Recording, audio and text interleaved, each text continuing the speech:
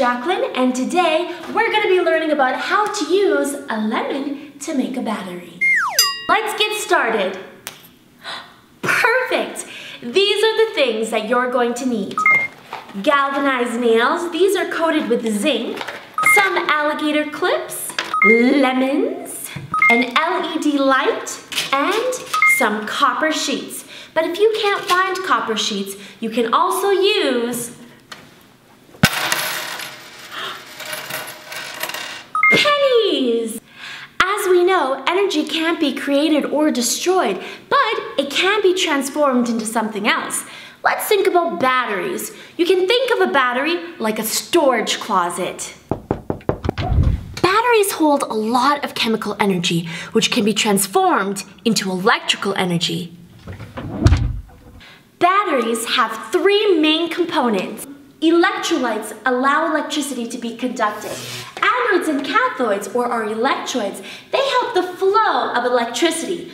Our zinc is our anode, our copper is our cathode, and our lemon juice, our electrolyte. As soon as zinc comes in contact with the lemon juice, something called oxidizing happens. That means our zinc starts to lose its electrons. Copper steals all of these electrons and before you know it, we have completed an energy circuit. The first thing you wanna do is roll out your lemons. This is gonna get the juices flowing and loosen up the pulp a little bit. Then what you want to do is make a little incision in your lemon big enough for the copper to fit inside. Place the copper penny in halfway and do the same for the rest of the lemons. Grab your zinc nails and push it through the lemon. Grab yourself your alligator clips and let's make an energy circuit. Take one wire and clip it to the very end of the copper penny. Grab another wire, attach it to the zinc nail, and from the zinc nail to the next copper penny.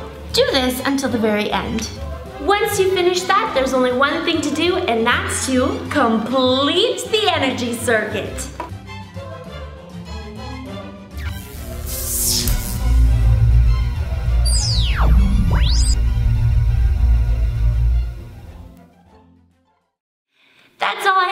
Today. Thank you so much for joining me. I hope you guys try this at home and I will see you next time. Bye!